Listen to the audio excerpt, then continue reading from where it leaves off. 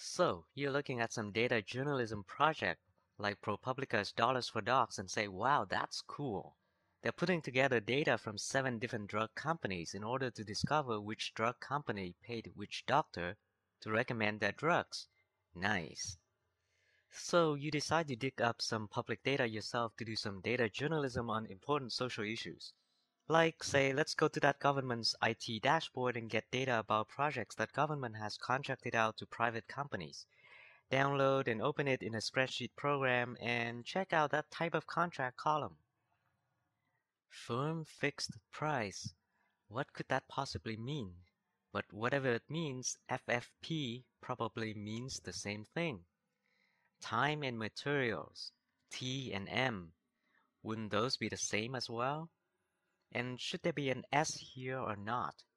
You would quickly discover that public, free, open data can be inconsistent and messy. Think of it as raw materials that you have to refine before it's useful.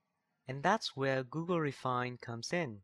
It is a free power tool for working with messy data. So let's load the same data into Google Refine and look at that type of contract column again. One core feature of Refine is the text facet. When created from a column, the text facet groups together identical cells in that column across rows and show you the number of rows in each group.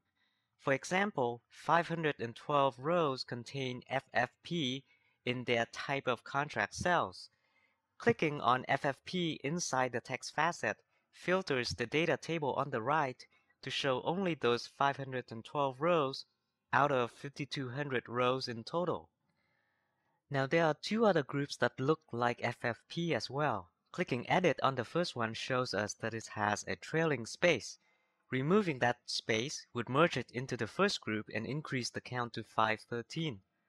By condensing all those 5200 rows into 800 something groups, Refine makes it easier to locate these inconsistencies.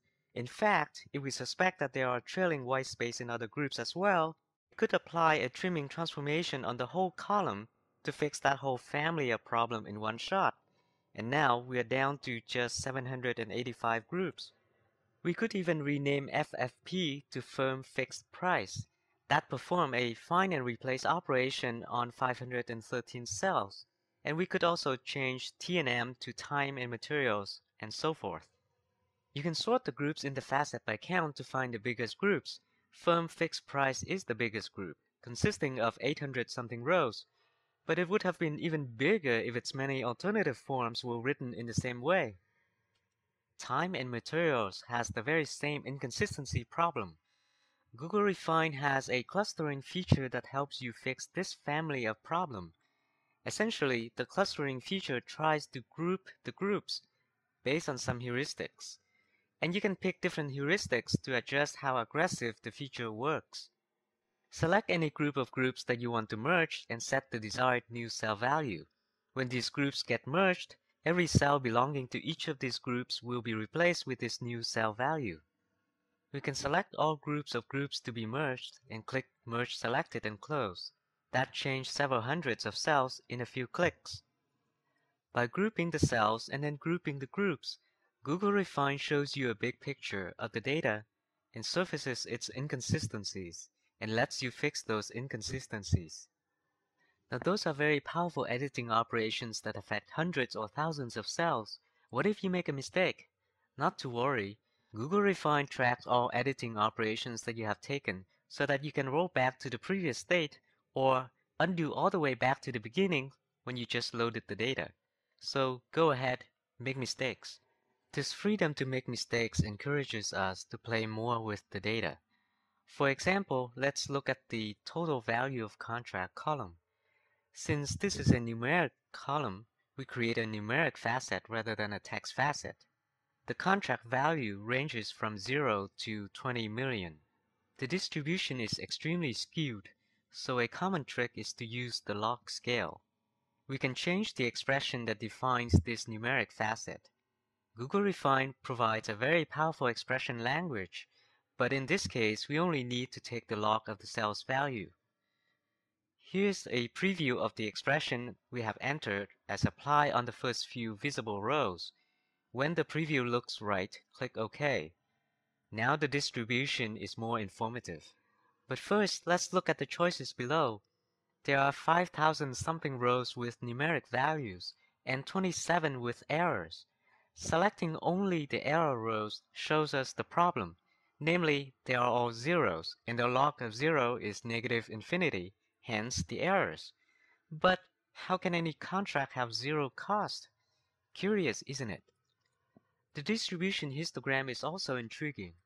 Let's filter for rows in the lower end of the range. Since the log values are negative, we expect the original values to be less than 1. Obviously, no contract can cost less than $1.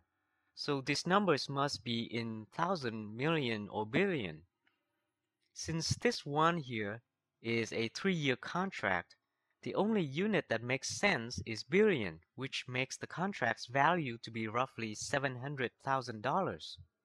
On the other end of the range, we find a contract with a value of 19 million. This is already too large to be in unit of billion. So apparently the numbers in this one column can be in different units. So that's what Google Refine is for, seeing a big picture of your data, discovering inconsistencies, and fixing them. Google Refine helps you refine messy, raw data into something useful, and ask questions in the process. And if you're working on some super sensitive data for a juicy news story, know that Google Refine is not a web service, so you don't have to upload your data to use it. It's a desktop application that you download, install, and run on your computer, even though you interact with it through your web browser. So your super sensitive data never has to leave your machine to get cleaned up. We can only show you a small fraction of what Google Refine can do in 8 minutes, so check out the rest of the videos and give Google Refine a try.